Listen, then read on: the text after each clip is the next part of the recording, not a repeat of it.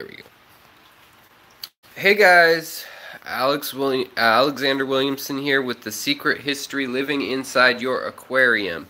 Uh, how are you guys doing? Today I want to talk about a couple different things, but mostly we're going to focus on breeding fish because it's a perfect time of year to be breeding fish, especially if you got some outdoor spots. Um, if you could use, I mean, you can use everything from a Tupperware container to like yogurt cups to get this thing, uh, to get fish breeding.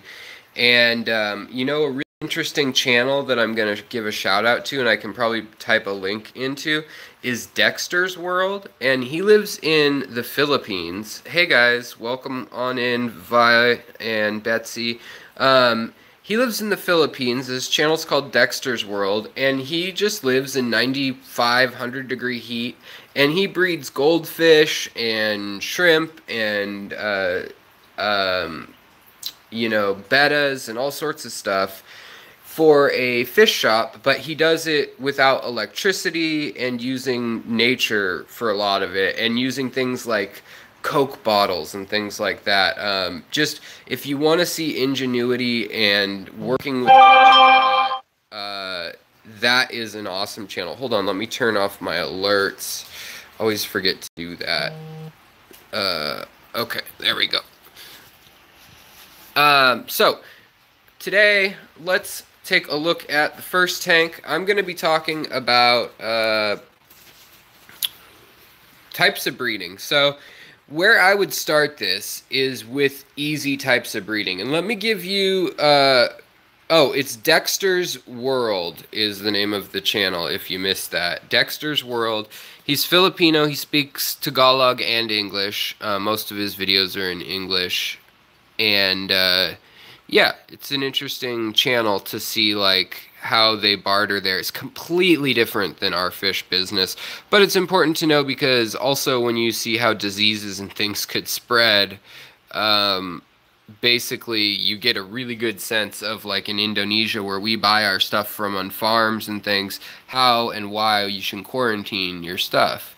Uh, new subscriber, Jess Tanks. Well, thank you. I'm glad you enjoy it. You subscribed at a tough time for me right now um, and, uh, in that I just got hit by lightning. But if you like the channel, um, if you like the channel now, just wait until I recover and uh, have my wits about me a little more. I wanted to show off, speaking of LR Brett's in the comment there, uh, I put some itsy bitsy day old shrimp in here just to see if they would survive, and they have. At least one has here. Uh, so we've got blue shrimp living in here, which is good. I also have a couple green jade adults in here. Um, but let me just show you my list quickly so you get an idea of what we're going to discuss. So, and feel free to interrupt me at any time. But on some scratch paper, this is my easy to hard list. The left side is easier fish and the right side is harder fish to breed. And then down here are just some different uh, notes that I was going to talk about, so don't worry about those. But on the easiest side, we've got guppies, endlers, mollies, swordtails, platies, uh, basically all of the live bearers. And as you can see in here, a lot of these babies are live bearer babies. I don't have too many, if any, live bear adults in here because I just let them grow out in here with these celestial pearls, which are actually going to be on the list uh, as kind of a medium uh, difficulty to breed. And I'll go over some techniques because each of these skill levels, I would say, has different techniques for breeding, and they're fairly similar, and that's what makes them difficult. Um, the details change, but you probably, you know, you'll get a you'll get an idea. So for live bears, what you want to do is you want to pick your favorite live bears. Uh, if you've got females like endlers here or guppies, you can't really tell the difference here. Hey Patricia, um, basically you pick the ones that you like the best, and uh, then you decide that they're going to be your you pick one male or two males that you really like. This is the male that I really like. And you wait for them to get impregnated. And the simplest way to do this is you literally just leave enough plants or make some homemade mops and uh, basically, as long as there's enough areas for them to hide, they won't all get eaten. Now, you can see here there's some babies down at the bottom, but in this tank they tend to get eaten. So I look for real pregnant females and then I move them. Now the Danios, these are fire ring Danios, and I just added these. I just got a school of these, a little one, and I really love these. The subtle beauty of these is awesome. Plus, when they eat or when they're spawning, they turn really beautiful, brighter colors and stuff. They are a little bigger than most nano things. Now, while we're on that same subject, let's talk about Neocaridina shrimp because Neocaridina shrimp, they need just about the same uh, conditions as live bearers in that you give them places to hide, and you can look at my older videos to try to find what I mean by that. Rock piles and uh, grasses and plants that are um, uh, like guppy grass back in there, that tangle. Things that fish can't just plow their way into and eat. And right now, a couple of these shrimp are actually pregnant in here. Now, most will get eaten in a colony st style, but but uh, but some will survive. And this is true with all live bears and Neocaridina shrimp, whether that's red cherry shrimp or blue dream shrimp. Um, that's true. And in this tank, it's not even as thick as you would want it, ideally, for them to survive you really want hiding spots where the fish can't get, like stone rock piles, like in here where the shrimp babies can hide until they're about a quarter of an inch to a half inch. So that's that's the, the, the first level of difficulty. And in here, I keep my males that I'm not breeding, uh, but that are potentials. Um, hello, everybody. Welcome. Come on in. Also, you're going to see the next step in breeding, which is called a mop. Um, we'll get into that more soon. But basically, in this tank, this is so dense down here that any number of these tetras could give birth in this tank and spawn, and they do, but they're getting eaten. The babies are eaten. But if I scooped all these fish out of here overnight and just let it be an empty fish tank, I would probably have eggs from three or four different species. So that's the next easiest way to deal with breeding uh, if you have that luxury and you have all these plants and things and enough males and females. Um, but yeah, so let's see here. So next we're going to go to um, back over to here real quick just because I wanted to show if you want to breed shrimp uh, you know, cherry shrimp and blue dream shrimp, yellow sakura shrimp, Riley shrimp or really shrimp, um, anything that's Neocaridina, if you want to breed them, this is the setup you want. You want it thick enough so that when I when I put my finger in here, basically there should be fish that come streaming out. Yep. So there's babies that are coming out. And down in here, there should be adults that come out. Yep, here comes more adults. So there should be lots of hiding spots, and ideally, these you see these uh, roots that don't look the prettiest, and some plants are even growing back down on themselves. Um, basically, that is what you want, and this guy is in danger of getting eaten, unfortunately, uh, maybe by one of these guys. I don't know. We'll see. So right now in here we have both CPD, erythromicron, and uh, Endler babies. So I put, oh, and uh, reticulatus, which I'll show you later. But you see the yellow, little yellow guy with the blue eyeball there that won't focus? That is a rainbow fish, a reticulatus, a pseudomagilla reticulatus. Okay, another question is any natural ways to raise GH? I'm glad you asked. Yes, you can add crushed coral. That'll add calcium, GH, and it'll raise your TDS, which is similar to your GH. Um, also, you can add um, shells. So just allowing more shelled animals to die in your tank Um, you'll see if you don't have enough, basically, uh, unless you have a tester, because all of your um, snails will have clear or white funky shells that look like toenail fungus or something gross. Whereas if they look like this, you've got enough. When you see that clarity in a lot of species of like ram's horns or pond snails, means you're close to needing more, but you've probably got a little bit. Um, also, the food you feed makes a big difference, so that's another thing you could do. Um, let me just take a look here. Hey, Fish Fam, welcome everybody. It's good to see everybody in here. Don't forget to like, subscribe if you haven't done those things. I'm really excited. Uh, how is your lightning thing going? Um, for those of you don't know, I'll go over it real quick because I don't want to just whine about lightning. I was hit by lightning. Um, I have a bunch of things going on right now. So right now, this channel any fishy stuff I'm up to is coming through Patreon and Super Chats because uh, I promised at the beginning of those things legally that I would be using the money to improve the channel, whether that's new cameras, new whatever.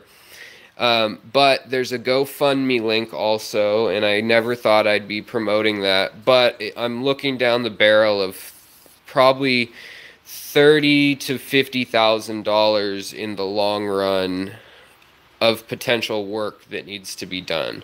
Um, I still, right now, I've just taken a big rest and I woke up very late and I can talk really well, but later in the afternoon, I will have my words will be all scrambled. I'll probably be confused and my wife has to put me down for a nap and change my diaper. Joking about the diaper. Um, the let's see here. Do you know anything about the yellow shrimp? Yellow shrimp are, I would say, I have a little bit of knowledge. They seem to grow faster than most other varieties. I don't know if that's just because they've been bred a certain way in the line, but they seem to grow quicker uh, or more quickly and also they gain color later whereas some like red shrimp you can tell really early if they're going to be uh, striped or blotchy or what the deal will be. Also you really want to cull yellow shrimp. By the time they're of breeding age get those males for sure out of there that are like yellow that are just like uh, manila envelope color Okay, and then also X Blister had a question a while back. How often do you top off? I drip my top for my red cherry shrimp about once a week, and I think the shrimp are dying because of the frequent top offs. No, you know, I don't think that they would. Oh my gosh, Betsy, thank you so much for for the super chat. So Betsy has a super chat of ten dollars that means a lot to me. I mean, that's money towards a light, that's money towards more breeding stuff and stuff that I can share with you guys because I'm going to be trapped at home for a while. I'm probably going to need for sure one back surgery, maybe two. Hopefully not, but I could need some sort of internal surgery if my blood tests come back that uh, the lightning hit my organs and cut a path uh, through them, but hopefully that's not the case. Uh, I don't want to get too gross, but urine has been really dark, and so that's a sign that there could be an excess of waste from the kidneys. Uh, so hopefully that's not, um, yeah. But the thing you guys can do definitely helps is just keep watching the channel, take care of your fish, share with what you have, and or share you know share with the group share with each other the knowledge you have and help each other out so let's get on to the next stage of breeding so the next stage of breeding i'm going to say is plecos they're not necessarily nano fish but here's a big old mr grandpa pleco and he is huge. And yes, I have let's let's look at the list again for those of you who may have missed it. Tilapia store, hello. For those of you watching, please visit Tilapia store if there's certain things you want like native catfish and things like that. He's got lots of stuff. Um, that's tilapiastore.com out of Florida, I believe, right? Florida. Um, but so yeah, these are all live bears and Neocaridina shrimp. Now, I put Neocaridina shrimp on the easy list Because in theory, if you have a cycled tank and it's planted and you give them wood and you feed them, they should just reproduce on their own. You shouldn't have to do much. I change the water every couple of weeks. Every two or three weeks, I change the water. And the main thing is not to overfeed them because overfeeding them causes planaria and hydra and other nasties. Let's see in my uh, here is another my uh, cherry red tank. These are from Lucas Bretz. Um, I think let's see. There's hydra in here. I was trying to get rid of them. Um, I would love to hear more about the Cory Cats as well. Yeah, I will let you know. Uh, we're going down the list, but these guys, while we're looking at them, like the blue bolts and stuff, they are definitely harder to breed. They're the next level up in that they really need specific pH and temperature and wood. And right now, this tank has undergone, uh, I just cleaned it, and so I need to like dust everything off now that like it plumed up into the air.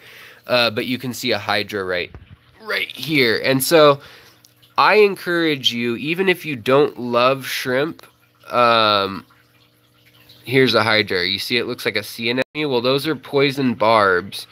And it can leave and wiggle like like a mosquito larva and grab onto baby shrimp and sting the heck out of them.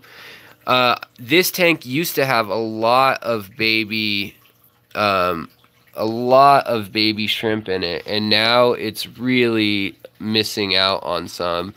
Part of that's due to planaria. Part of it, I don't know if it's just um, how hot it's been has gotten their water temperature instead of 72 degrees. We're pushing like 80 in the tank, and uh, yeah.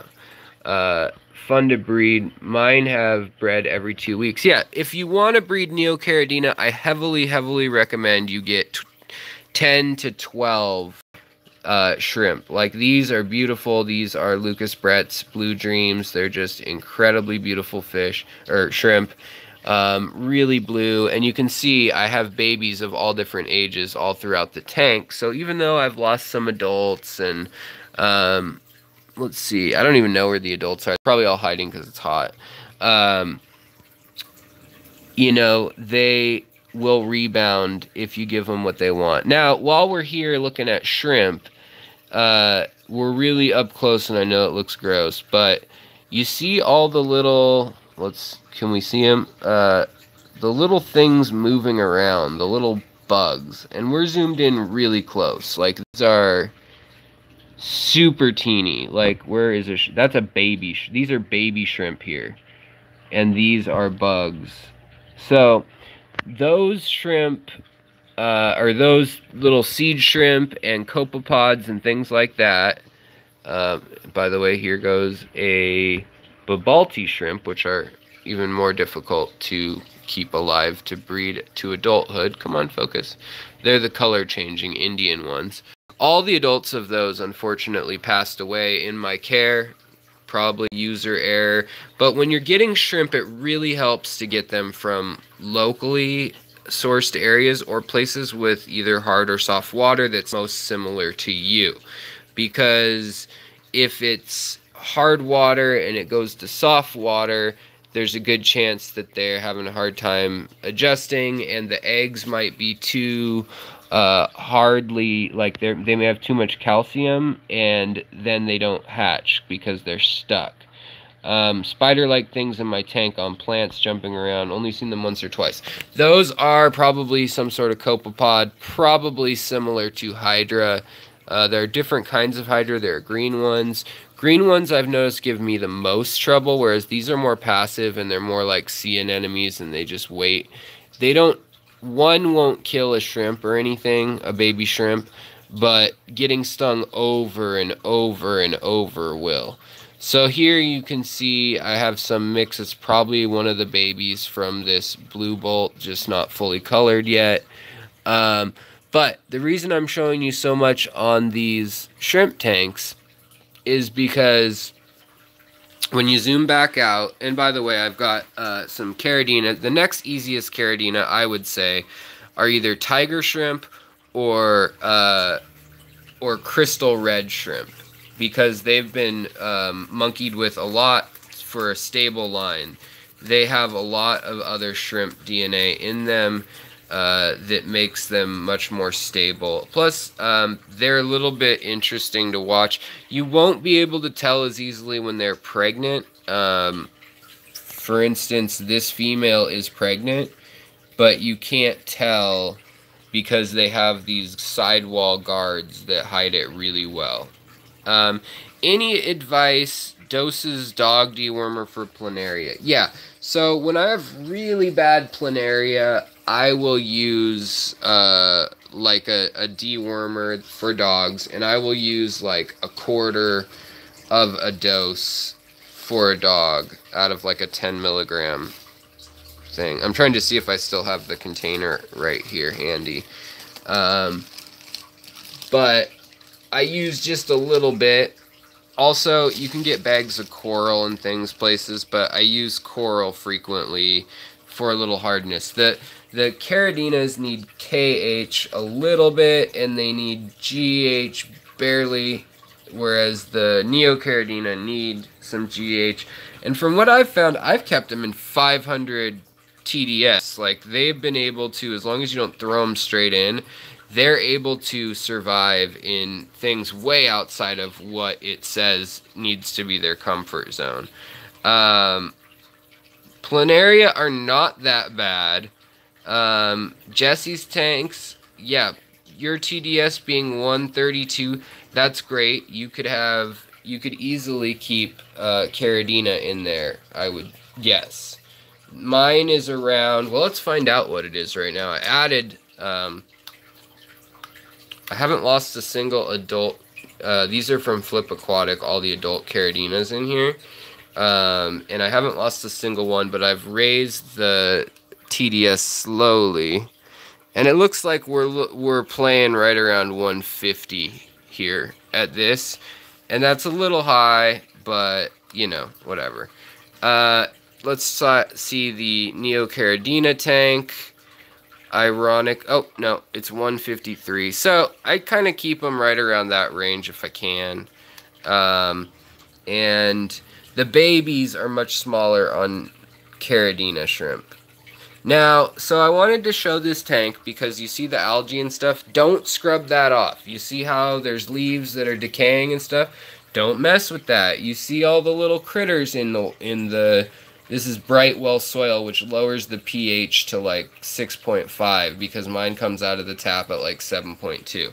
So, a lower pH for crystals and for um, Caridina is good. Not it doesn't matter for the Neocaridinas as much.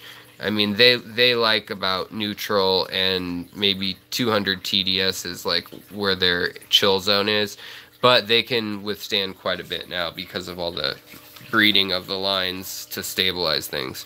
So, why do I keep these tanks like this with dirty, with snails, with algae, with little things floating up top?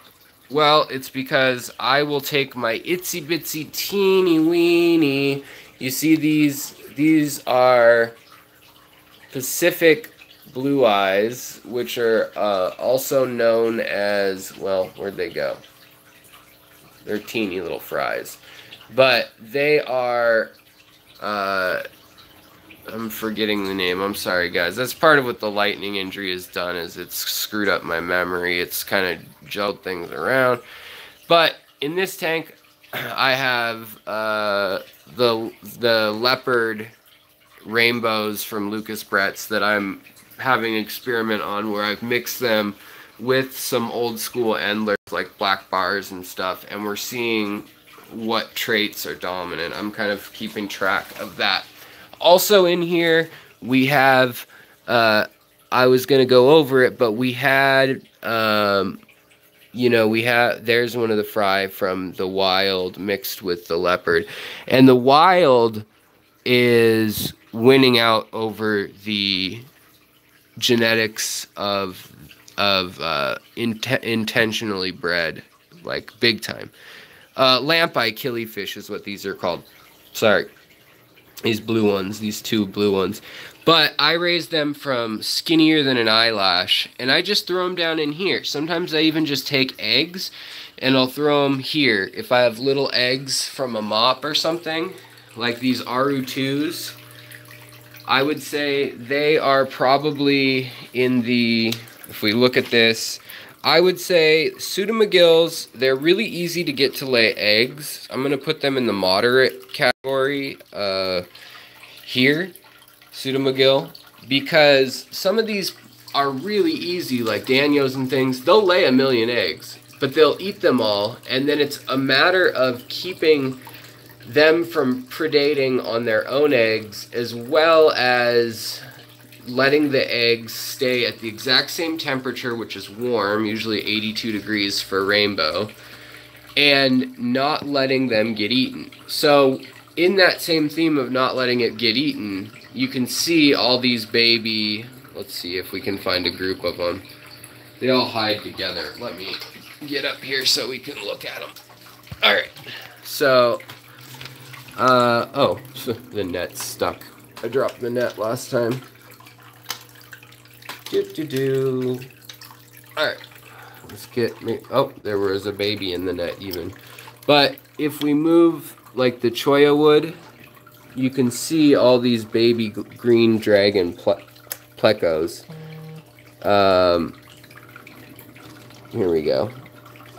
And these are about a month old now. About a month old now. And, uh, yeah, so there's a green dragon there. Right now they look like brown dragons. um, some have longer fins, some don't. Let's see if we can focus in on all the ones across here. But they can have litters of like a hundred babies. And as long as you don't, they don't get eaten, which they were getting eaten by my Corydoras when they were small. Uh, they're really easy to raise, so I'm putting them in the second from easiest. Uh, rainbows also uh, everything except the Pseudomugil. So Pseudomugil means it has the blue eyes, and uh, they're like the Aru2s, like these guys, and uh, Luminatus, the reddish orange ones. Those are all really, really easy. You throw a mop in there, and overnight you feed them first thing in the morning. And in the afternoon, we'll pull this mop and see how many eggs are in it um, from just two females, and I I pulled it really recently, so if there's not any, that's not a huge surprise, but it also wouldn't surprise me if we get some eggs out of this mop. So let me pull this mop, drain it real quick. Pull the mop, setting it down. We'll let that dry while we talk about a couple other things. On, let me check the chats here. Um, I'm wondering if pro help me get rid of snail leeches. I'm still battling in one of my tanks. Is it safe to use on a planted tank? All the anti-planaria, anti-protozoa, anti-worm stuff is safe to use on uh, tanks as far as plants and things go. However, you frequently will kill your snails and sometimes can kill your shrimp really, I have used levamisole in low dose, and then um, the other one, which is uh, I'm really spacing out on it right now. It's the most common one. Um, Betsy will type it for me. I know she will. Uh, the common dog dewormer that everyone uses. Uh, P, sort of the P or D. I can't remember. Uh, she'll say it for me in a minute, but. Um, yeah, so in this tank, you can see I've also got um, some baby uh, uh, ruby tetras and compared to the adults. And I'm raising them up. Um, that was, yeah, um, Furan, Furan 2. Um, it's not Prazi. There's another one. Um, in any case, all the normal fish ones that you can find at little fish stores will um, do kind of Fen Bend is all Thank you, Swag Skywalker. You are my Jedi. You are my hero. Fenbendazole or uh, Phenobendazole. There's a few different um, variations of that. But that is uh, the one I use first, and then if that doesn't work, I'll hit it again with um, levamisole, which you'll need a prescription for, or just like a loosey goosey local fish store that doesn't worry about it and has like a farm license or a breeder license that allows them to have that. Um, so right now, let me show you what I'm doing here. So as we're talking, uh, the eggs that I pull from the mop, I put in here for the Aru2s, which are rainbow fish, and they're the more difficult rainbow fish, not because of anything in particular, there's more eggs in here too, uh, but you've got your dwarf neon rainbows, your thread fins, and all your big large uh, rainbows. If you put a spawning mop in there, they're going to make babies every day, especially if you have a tank that's really bare like this and you just have a mop. Every day that you check that thing, within 24 hours of being left alone, they will probably have babies uh, or eggs that are in there and fertilized. And I, I, I think that that's really easy. Plecos, same deal. If you have a few plecos, uh, especially ancistrus that are adults, so I'm talking three to five, six inches, and with rubber lips and stuff, I'm talking over a foot they will breed anywhere with a cave if you just give them some time. Some pairs get uh, do it more than often. These ones won't stop. So what? No way to get better than to do. I'm a glass artist, so I could make you some centers to play with. With be like a mouth or moving till. I'm sorry, I'm really confused by that, Jeff Griffin. But um, maybe you're talking to someone else. Okay, I'm going to keep going. So zebra danios also very easy to uh, breed. What you would do is you would take the males and females. Uh, and for bristlenose, I would wait till they're three to four inches, if not bigger, to breed. Um, let's lift this gal because I know I do it every live stream and they get all cranky. You might see the other catfish in here that are never going to breed. Um, but yeah, so there's actually some babies still hiding in there. But this is a big guy. He's six inches. I don't know where his wife is. She might be. she hiding back here? No. I don't know. I give them lots of hiding spots. So I would consider them. Uh, these guys, you know, they're a couple years old. They're three years old, probably. They're eating green beans, living like kings.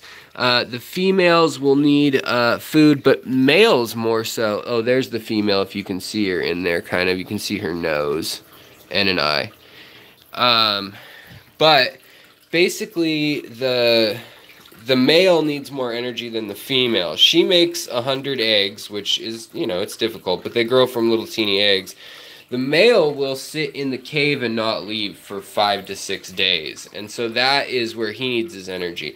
Now, any breeding tank for grow out, I always keep a layer of, you know, duckweed, salvinia, um, hornwort, something like that over at least half of it. And a lot of times I'll just let plants float that I'm growing out and stuff like that. But it allows the younger ones like this to work their way through and hide, as well as shrimp. Believe it or not, with these catfish that will eat a shrimp in a second, uh, there are still some shrimp surviving and a group of babies that survived in here. We also have other eggs in here, but I don't know how viable or what they are.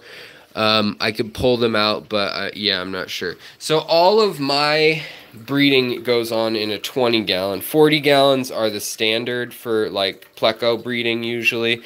But a 20 gallon works just fine. And then I also use the top of the water for either a um, killifish or uh, Endler grow out tank, um, basically. So you can make it work if you have to. My wife definitely wouldn't want 40s as the stack here. So any advice on making my baby shrimp survival rate go up? I have rock piles and moss. Do you have fish in the tank? Is that what's going on? Um, you don't need rock piles and moss so much if you don't have... Are green dragons easy to sex? Yes, they are once they're adults. Babies, uh, everything up to a couple years or everything up to a year, it gets a little tricky. See, there's some blue shrimp. Let's get this out of the way. Blue shrimp just chilling. These are Lucas's. Just chilling. I throw a couple babies everywhere because I like blue shrimp. But you see that snout with all the bristles? That And there's one of his babies. That's how you can tell that the gender is he's long and he's got bristles. Uh, some of them are insane. He's got very minimal bristles. Now the female, if she'll hold still, she looks like this. She doesn't have bristles so much. And she's sleeker, and if you were to look at her from above, she's less broad-headed than he is, but a little broader down the whole body. So, yeah. Um, yeah, definitely what Betsy just said. We have a sister group or brother group or non-gender binary group, whatever. whatever. Um, on Facebook that Betsy is awesome at taking care of and moderating and all that jazz. And basically, if you have questions, we can help you out more there.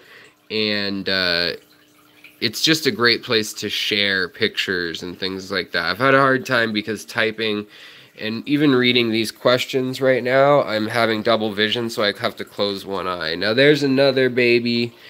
Um, I notice babies, even if they don't survive as high of a rate, you can grow out babies in a tank with very dangerous other fish, like fish that are going to for sure eat them. And if you have a hundred babies and you don't care necessarily, you're going to get the strongest, the biggest, and for some reason in this tank, the darkest uh, babies survived. Even though there are a couple fish in here that just eat them for lunch. The, the cories were going to eat them. So let's talk about cories really quick. Um, what substrate do you use in the sand looking tank? This one here, this is fluorite coarse sand and a little bit of um, coral. And this is sand, coarse sand from National Geographic and pea gravel. Now the pea gravel on its own really gets nasty. Like it smells real bad when you va vacuum it, um, gravel vac it but just gravel vac sections because you suck out like all the beneficial bacteria in an area really easily. So I do that in sections. Each week I'll pick like a third and do a third of it and get that out of there. But root tabs, things like that, not a good idea in pebbles uh, because yeah. Um, Scarlet Badis, uh, we should talk about that um, because they'll they'll be in with these medium hard ones. And the reason they're hard, so let's finish this. Uh, peacock gudgeons, all you need is, like this would work. This hollow cholla wood, that would work. I've bred peacock gudgeons unintentionally upstairs about two dozen times, and I just let their babies get eaten because they're really mean and I don't like them. Um, now, for Cory cats, the trick for getting Cory cats to breed some people don't need to do anything to their tank. Other people need a clear bottom tank and it depends on the species, but naturally they lay their eggs in warm sand at night. And so what you're looking for, I have a video on this, is you look for a fat female swimming upwards, or swimming sideways, sorry, and males running with their nose and hitting her in the belly. Um, and basically, that is what uh, my oh my pink ram's horns. Yeah, I've got all sorts of ram's horns now. I've got black ram's horns, gold ram's horns, uh, opal. Where, where are the opal ones? I'm trying to separate them by tank, but it's kind of like I'm, when I move plants, it switches everything up. Um, there's more gold down here. Uh, any case, we'll talk about ram's horns another time because that's like breeding. There's one of the gold, golden red ram's horns. There's the black and clear, and then there's the black and leopard, um, or green and leopard. Some of them now.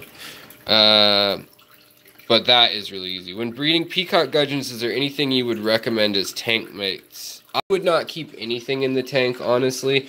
They get really, um, really moody and they defend their little burrow to the death, literally. Like mine jumped out of their tank. Hold on, I'm just gonna wash my hands here. Mine jumped out of their tank and down into a shrimp tank and literally killed hundreds and hundreds of dollars worth of shrimp of mine.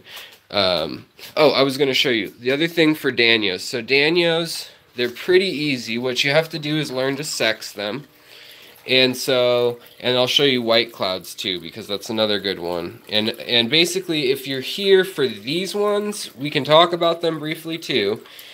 But if you're here for them, you probably need books and things rather than just this video. So we'll just touch on them. Uh, but basically, I keep, so these are all three males, and I'm keeping them apart for probably a week.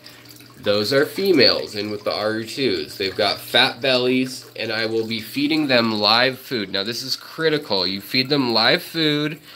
You let the water get to 80 degrees or so, or 82 degrees, and that shows them, and if you can, even lowering the water. I've done that in this tank. I've let the water just evaporate down to halfway. And that takes pressure off of them, the water gets warmer, and it lets them know that the um, basically that the dry season is there and things are getting kind of dire and they better hurry up and mate when they do get the chance. And so then what you do, and this works with a lot of fish. Corydoras, this works like a charm. Then you throw in a bunch of cold water and you add 25% back to the tank so it's almost full like this. And then you put the males and females together. You plop in a grate like this one here that I made. Uh, there's the grate that came with it, but they could sneak through it. So I added some knitting needlepoint stuff. You set that in there like that, and they for sure will lay baby will lay eggs. Then it's on you what you want to do with the eggs. Do you want to get them out of there and put them alone in a tank with nothing? Do you want to put them in a shrimp tank? But Danio eggs hatch in these. These are gold eye um, or gold ring Danios, and then there's one twin eye Danio, and same with the females. There's one twin eye and two gold rings. Um, and I'm gonna put them all together, and then I'm just gonna throw their eggs into the shrimp tanks, so the shrimp can eat their eggs but they'll be floating like this, so hopefully they won't. When you see them, they'll come out and they'll just be eating yolk for a couple days. So you won't need to feed them anything. But they hatch really quick, like two days. And that's how I'm going to be doing it because then I can use this tank for all of the other things I wanted to use it for uh, very quickly again. Plus, there's all these guys growing out in it, and they would eat eggs like no tomorrow. They can sell them and find them instantly. Ooh, somebody snuck out. I see another Danio. It's okay, as long as it's a female. I'll have to double check that after the live stream. Looks like a female. They've got fatter bellies. Uh, zebra Danios are easiest. Then I would say that the chain Danios, so like Kyathit Danio, Danios, stuff like that. This female uh, live bear Endler is about to give birth. You can see the mix I have in here. I need to give some of these away soon and just keep the ones that I really like, plus the females that are really reliable. Um, for the Corys, though, same deal as with the Danios. Pour cold water in. They think that means it's the start of the rain season. You can put catappa leaves in while you're priming them when you keep males and females apart. Corys are a little bit harder, but Corys, the females tend to be bigger and have a belly full of eggs, so that's a little bit fatter breast, like stomach and breast area. And so if you can split them up, try to do that. But then they'll be going up and down all over the place. And if you can keep them in murkier water, like with tannins and stuff, that will even help your chances. But with most species like um, uh, Sterbais and Julii and Aeneus and all those common ones, um, pygmies, all that stuff, they will simply just do it on their own. You don't need to do all the like faking the wet and dry season. So they'll do it and then you'll see them going up and down making a tea. I have another video on that. But then you'll see little eggs on the glass and you just take those little eggs, try not to touch them with your hands because you got bacteria, and then uh, you can just use like uh, a little um, little something or other. If you have a pipette, that works great. And then you can put them even in just like floating something like this, but change the water daily because this will get a bacteria or a biofilm otherwise and then those eggs will hatch shortly. Now the other way to hatch danios, and I'm going to show you guys this because this is another way you can do the white clouds, and you can do the zebra danios, and the CPDs, and other cories. So tetras, let me just briefly tell you about tetras. I kind of did upstairs. What you do for tetras is you cut the tank in half in that there's a net. And the tetras can only hang out up top and the eggs fall through. And you let them just hang out for a week or whatever and then you pull all the tetras out of there. And it's as simple as that but the babies are very teeny and they're you really need to feed them right which means you have the microfauna the plankton the algae all that and you have infusoria, which is green water. Now you can make green water. Uh, this is a real crash course. I know I'm rushing through this, but I can speak today, and I'm so excited that I can speak. Uh, that I'm really sticking with this. Uh, so to make infusoria, the easiest way that I've come across, get water from your dingiest tank and uh, basically get some lettuce or cabbage, boil that, pull that out, and then don't boil the tank water, sorry. Boil the cabbage and lettuce, pull it back out, and then throw it in a jar with some fish tank water and leave it in the in the sun in the windowsill or something for a couple hours and you will undoubtedly have bacteria baby protozoa stuff like that growing so here's a mop right now before we go outside and look at my my other breeding project. This was the Aru2 mop. I'm just going to find one or two eggs if I can and show you what they look like size-wise and color and all that jazz. Now, you'll get snails eating, see the snail, and this is a sign that there's not much uh, hardness in my water. I'm in Seattle, but the snails are a sign that they're eating, get off, uh, they're eating the eggs usually. But here is an egg, if we can find it, right here. Usually the unfertilized eggs, you can't tell for sure, but usually unfertilized eggs have a, a clear color, whereas you get a yellow color, like see this yellow there, kind of, like an amber color? That is showing that the egg is fertile, the male has fertilized it.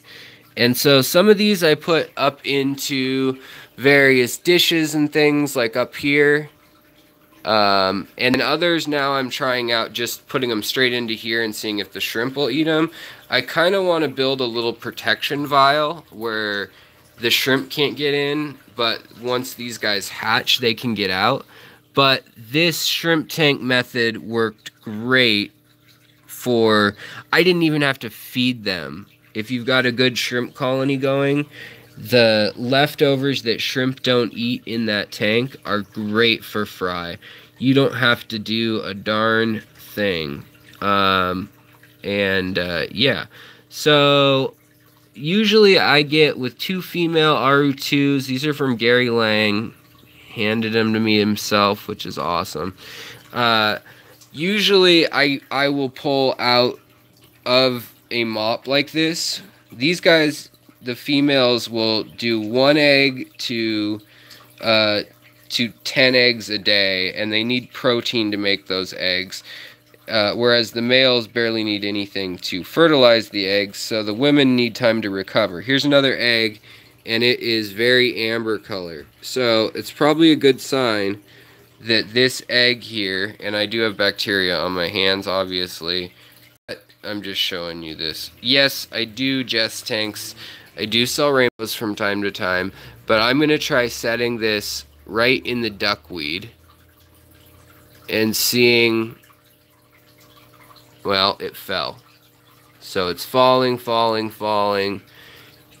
It'll probably get eaten by a shrimp down there. But I'm trying some new things because I think if you can get nature to raise it and I don't have to fiddle with water changes every day and I can not have to feed them and they take care of planaria and hydra and all the like little nasties in the tank that annoy me, uh, why wouldn't I raise them that way? And that's that's the same with tetras and the things that are harder on this list.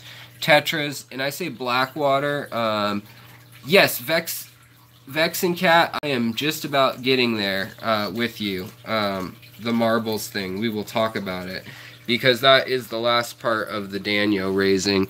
Um, but yeah, so anything that you want that lays that's an egg scatterer or an egg attacher, things that uh, attaches eggs to reeds and things like that, you can leave in a mop. Now, certain fish, these guys lay one egg a day up to like five or six or whatever.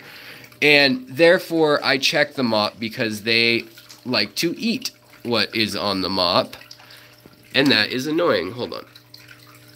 But, um, I will be, um, definitely, I will be taking some mops like this one where I can put something in here tonight if I want, like that's been separated upstairs. Like I've got those fire Danios. They'll, I mean, they could pick something like this, but usually they'll pick whatever has the most cover. And so they will lay there, but they will lay a whole bunch. Now, also another trick for um, fish that like algae and things like that when they're young, get this knitting stuff and just throw a bunch in your tank. It'll grow algae just like the walls, and it's just a good feeding place for babies. Uh, but let's go outside um, and take a look at what I'm doing outside right now. Uh, so this, the the erythromyia, angelfish, all that stuff, I like raising by putting uh, a thing out. Pardon if I lose you lose my um, signal, but I like breeding those not as in sterile in a tank like like uh, a lot of people do. You can read up on that, but I like breeding them. Uh, just with really thick underbrush, putting two adults in, no other fish in the tank, and then yanking them out, which is, as Lucas says, musical fish. So now what I've done, I've used the really natural method here outside, but these are white cloud minnows, and I have used um, rocks that are all jagged, and there's lots of spots for the rocks to, for eggs to fall. So when these white cloud minnows inevitably each morning spawn, uh, they will fall somewhere in between these rocks, hopefully, where they cannot be eaten.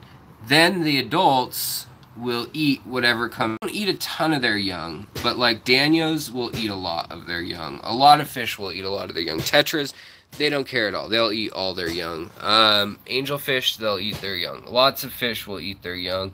Um, some angelfish exhibit more cichlid things, uh, patterns, and don't. But as a general rule, if it fits in their mouth, it ships. It, it, it gets chipped. So basically, the old fashioned way, or the way that most people used to breed fish, was they would put marbles in. Two inches of marbles. You can also go to IKEA and get those glass beads or whatever. By the way, this is tank water and old tank gravel, and that is just growing um, nymphs and anything that wants to lay eggs in there, mosquitoes or whatever, and that feeds this tank um, as well as bugs that just get trapped on the water. And there's nothing better for it. Today it's 92 degrees out, and this is in the shade. And so this tank stays in the shade and gets maybe, I don't know, four hours of sun in the day. But live food is very important. Uh, used to use slate with angels. Yes, you can use slate definitely. Um, you can do that for Corydoras too. Um, a lot of different fish like to attach to slate instead of glass, but you can't always predict. So usually check out the slate and the glass. Anything you see that's a cluster of eggs, it's not snail eggs. Snail eggs usually have um, like a clear goo all around the whole thing, whereas a lot of times fish eggs don't. They just are a bunch of little teeny eggs that get stuck. Uh, keeping well, still haven't started breeding my Rasbora Kubota yet. Need to get the numbers. Uh, yeah. Uh, I would like to see you raise the Rasboras. They're great, but you need infusoria and you need to keep them away from so it's kind of like they're they can be one of those ones that's seasonal so that's that are extreme so a lot of fish that live in places that get super dry and they start to live in basically mud puddles and most die their cue to breed is when the rain comes. And so uh that is what when you will see you do a cold water change to represent you know it's been baking in the sun in these puddles these poor fish all together. The ph is off the charts the acidity is off the charts and all of a sudden they get wash of clean water and new mates that are fat and healthy and overfed that have come from other rivers and that's what you're imitating. But the marbles essentially when breeding any nanofish what you're doing is you're first giving them conditioning. So could you leave cory eggs with two week old cories yeah with two week old cories you'd probably be okay. So let me just put it like this because i'm running out of steam uh, but with breeding uh, you want to leave you want to leave uh, conditioning. So that means plants or that means marbles or whatever. You're conditioning the environment. Then you condition the fish. So conditioning the fish usually means feeding them live food. Now, feeding them live food, giving them good, reliable cycles of light, good hiding spots so that they're comfortable, and oftentimes splitting up the males from females. That is any breeding process that makes it go quicker. It's more reliable when you split up the males and females if you can tell them apart. Granted, like with live bears, don't need to do that. Don't worry. If they've seen each other for a half hour, they're pregnant. Um, but like these Danios here, uh, I'm waiting, but I know that's a well. I know one's a female for sure. Two's two are females for sure. The other ones, I don't know if they're young or male or what the deal is. But uh, once I do, I'll set them aside, and then we'll probably try the marble thing just to be on. Um, yeah. Uh, so what you would do is like that bear tank I have upstairs or downstairs. You would fill it with marbles, like yay high. Marbles are expensive now though, so I'd get those IKEA little flat things unless you have a dollar store where you can get some. Um, you could use rocks that are round too, but marbles are great because they really do leave a lot of empty space for the eggs to settle in. And you're not doing any gravel cleaning, none of that. Uh, and basically, yeah, the dollar store. And basically, so you've primed your fish, you've fed them well. Another thing that people overlook is you prime your fish by putting infusoria in the tank. Start putting vinegar eels or baby brine or whatever.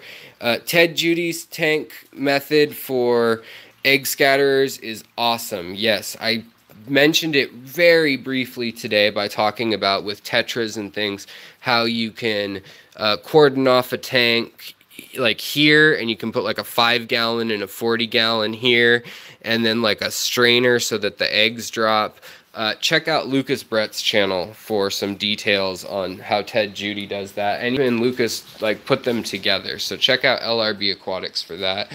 Um, but yeah, so just condition them to have live food, even if they don't need it, even if the fish you're breeding don't need it. They look around the, their habitat and they think, "Are my babies going to survive? Do my babies have food?" That's why you feed them live food. It's not necessarily that they need it, even though a lot of times it's good for them too. It's that it tells them that nature will provide for their babies.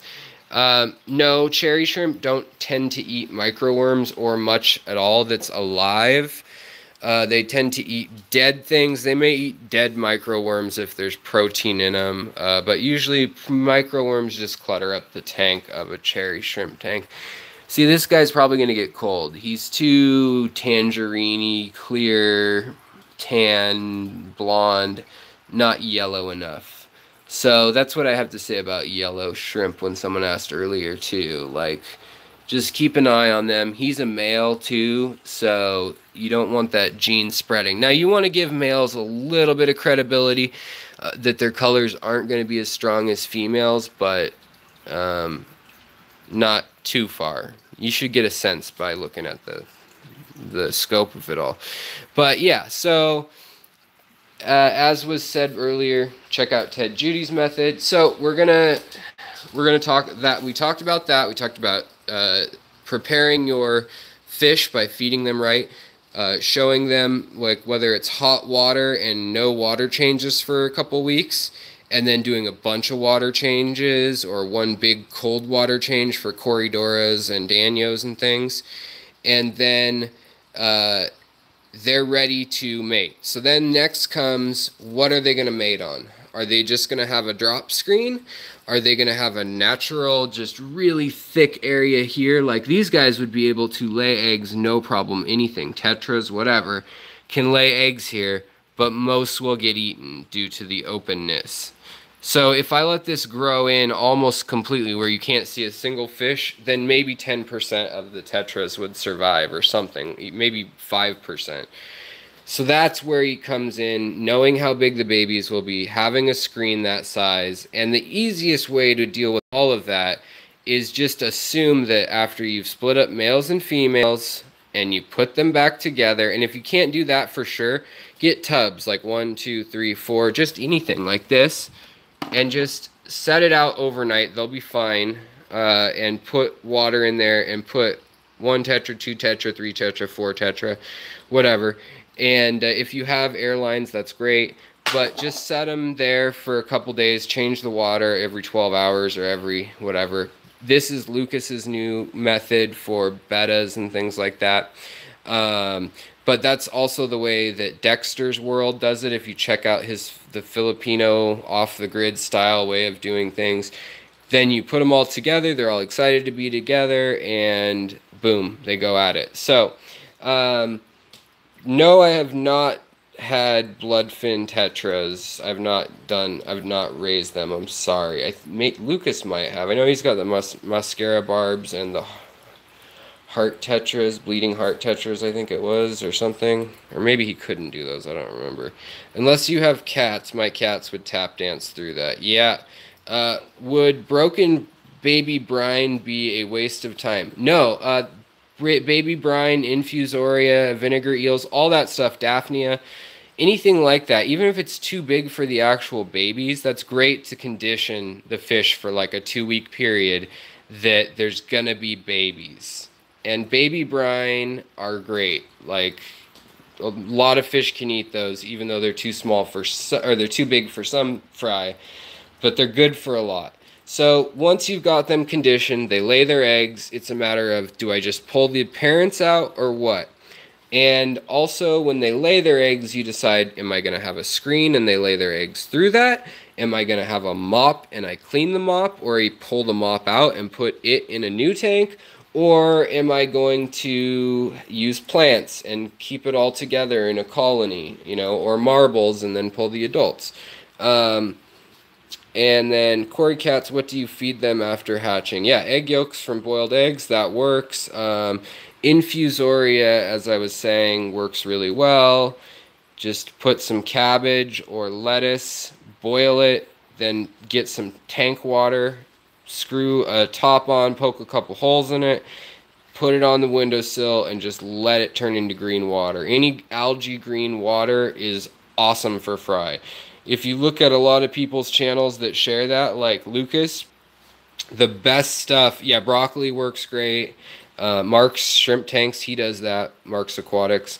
Um, you can uh, basically just uh, any tank that's super dark and looks cycled and covered in algae, Fry will love it. So if you don't have any adults in there and you have one tank that's just all janky and needs to be cleaned and everyone's like, oh, what's wrong with that tank? As long as the ammonia and the nitrites are good, go ahead and put your fry in there and in a few months they'll be adults and they'll grow faster than everyone. All right, guys. Well, I hope that I could answer some of the questions. I'm having a hard time keeping up with them still right now, but I feel like I held it together pretty good for this. I got some cool uh, tips and tricks for you guys coming up in the future. We're going to do some history stuff that's going to be a little more down to earth. And uh, thank you guys so much for the support um, with medical bills, with keeping the fish room alive, and uh, all of that. Uh, I hope that um, we can all teach each other, all learn from each other, and all take care of each other. Um, that's what the Fish Fam thing's about online. And the internet has really allowed nerds in the basement who have a secret uh, love of fish, maybe a little more than your average person keeping a community fish tank or having someone else take care of it. Uh, we love it because we play with destiny of the little fish.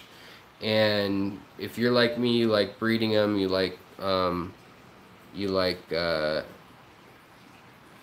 planting and propagating and seeing the the work you've laid grow into something beautiful. Uh, last chance for a super chat, even a buck or two helps. Thank you. Um, Betsy, I appreciate that. Uh, goes a long way. You always help, and you are a sweetheart. I'm sorry your lily didn't survive, but Lucas still hasn't opened his, so hopefully tonight we'll see a live stream with that, and it'll be okay. Uh, also, um, subscribe, like, share if there's something helpful here. I know it's a live stream, but I figured I'd just do a solid hour of tips on what to raise in what order if you haven't done it yet. Just a real brief overview, and then we'll do videos of like, this is the Danios, this is the, but just to kind of give you an idea of what you're getting into before you start. And then there's all sorts of things like discus and the Tatia catfish that I have that need a pH of 3.8 and they need water to go up and then down and then up again in pH and in hardness and in temperature. So there's all sorts of stuff um, that can play and have an effect. Oh, Jack LaMountain, another $10 super chat. I really appreciate that, man, because anything on this channel, like I said, I want to get a better camera. I want to get a mic so we can interview people. Um, that is so sweet of you. Very nice of you. I hope that maybe I can save you money by sharing some of my knowledge, and you guys do the same to me. And um, when I have money, I try to you know do the same and Patreon and all that. Um, but I really appreciate that. Thank you so much. And I also understand if you don't have money to spare right now. So many of us don't in the hobby life, you know, a lot of people are working a day job and two or three side hustles, and I get it. Fish and shrimp are your escape, and let them be that. And let's just love each other. So, all right, you guys, take care. Ask questions in the comments in the Facebook group, and I hope. Uh, thank you very much. Um, and I uh, yeah I'm not able to work for a while. Like I'm crashing now. Um, I get so bad that I like get confused where I am still. Hopefully that will end as swelling from the like traumatic brain injury part of the concussion or the throw. I'm hoping that that's what that's from, but there's a neurological end of it that is totally uncertain like the hallucinations and the like weird word mix-ups and stuff like that. Like i know what's going on but i can't communicate it. And like the writing on this this piece of paper here is actually with my left hand of it because my right hand was taking too long. Well you guys saw it. Um, but that's the best i've done in days so that gives me hope too. So you guys give me hope my wife gives me help. I can't thank her enough. Uh, take it slow. I like that. All right, guys. Well, I'm done yakking about how much I appreciate you and the GoFundMe and all that. And the links are below. I think the link to the Facebook group where you can post your own videos and pictures and share knowledge, which we love, should be linked below. Uh, if not, just search for it. Um, it's just the Secret History Living in Your Aquarium uh, Facebook group. But much love to you guys, much appreciation. Good luck with your breeding. Good luck with your tanks. Take care of yourselves so you can take care of others around you. Spread the love, spread the joy, and I'll talk to you later. Swim on.